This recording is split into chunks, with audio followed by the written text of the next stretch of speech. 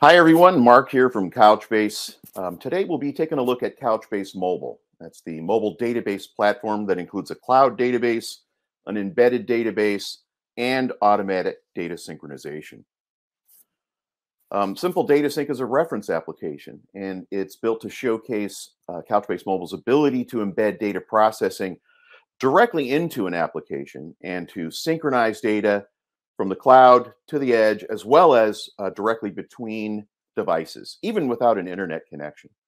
So it's a really fun and powerful demo. Be sure to get it here on the uh, Apple App Store. Install it on uh, two or more devices and start syncing data immediately. It really couldn't be easier.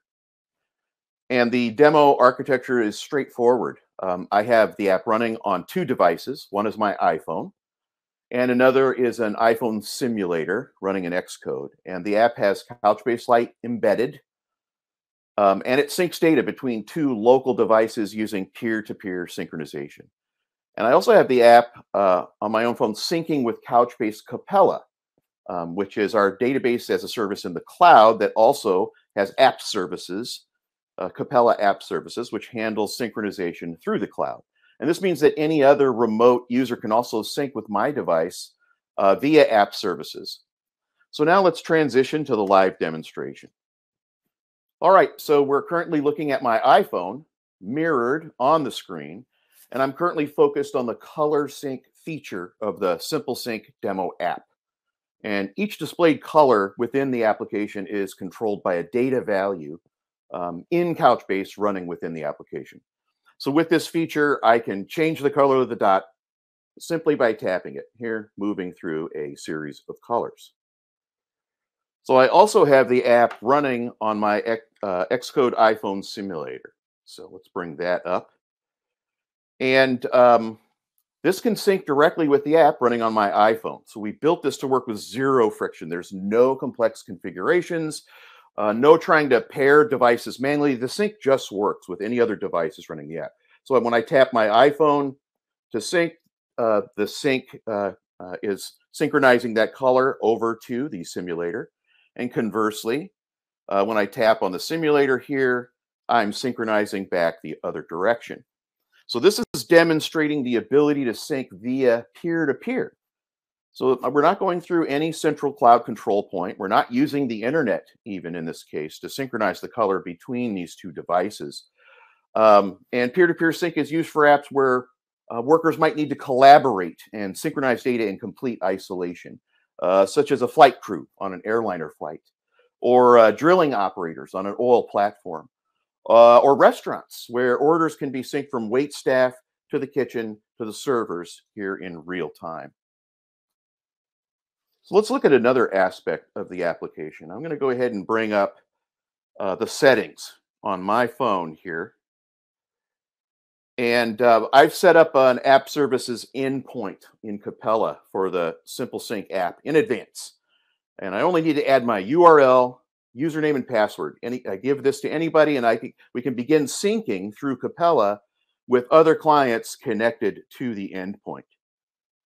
So in fact, as we go back, um, uh, my co uh, colleague, Matt, has the app and is also connected to the app endpoint. So let's bring up Matt here on Zoom. Hi, Matt. Wave to everybody. So Matt also has that uh, that application, and he's sitting across the state. He's not even anywhere near me.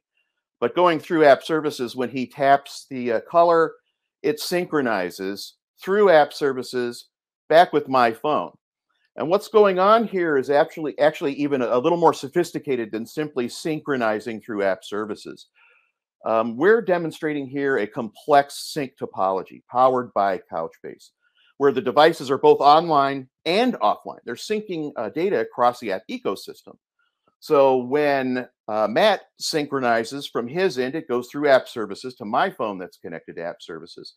But my um, simulator is not connected to app services. So when it changes, it's actually changing based on what Matt's doing, coming through to my phone and then syncing via peer to peer. So really, really uh, amazing uh, synchronization that's happening here in real time. So next, let's bring up Capella on screen. And we're going to sort of close the loop here.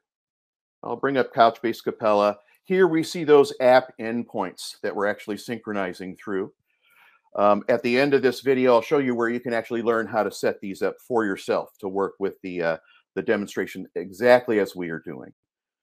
But what I'll do is also hop over here to the actual database. This is where um, we're actually seeing these values come into a document.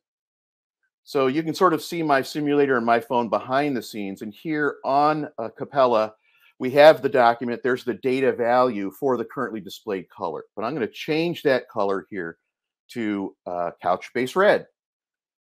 So when we change it, you probably noticed behind uh, the uh, browser view here, um, we were able to, in fact, uh, change that from the cloud down to uh, my device, which then synchronized with its peer-to-peer device. And uh, it also synchronized, I'm sure, over with Matt. In fact, Matt, did it synchronize over to you? There we have it. So now we've gone completely from the cloud uh, to my uh, synchronized devices and then uh, from the cloud over to uh, Matt's device as well. So why did we use color to demonstrate the power of synchronization? Because it's easy to demonstrate quickly. And if you can sync a color, you can sync anything. Be sure to download the app and uh, check out all of the features, uh, including photo sync, count sync, and full text search. And uh, developers can get the Simple Sync demo app source code here on GitHub. Just follow the QR code. And for a deep dive code review, we've also produced a four part video series that walks through the app code in detail to show how it was built using Couchbase Mobile.